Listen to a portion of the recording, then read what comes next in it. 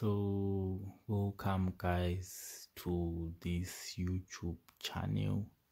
Thank you thank you for choosing to watch this video. So on this video i'll be talking about when one should consider taking a trade and what you are looking for at these areas for you to just say yeah i'm now going to what?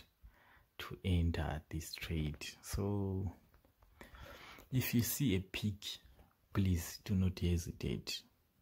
Enter that trade if you see an id50 i'm going to show you how you identify these things. Because i know people tend to forget.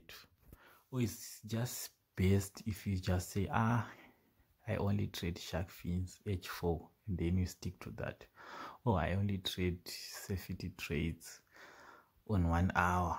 Yeah, the one hour id 50s you just enter the i trade the id 50 you enter those. I trade a peak you enter those.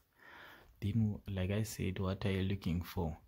So entry triggers there are basically two of them. You can either use a golden cross or you can use a breaker block pattern.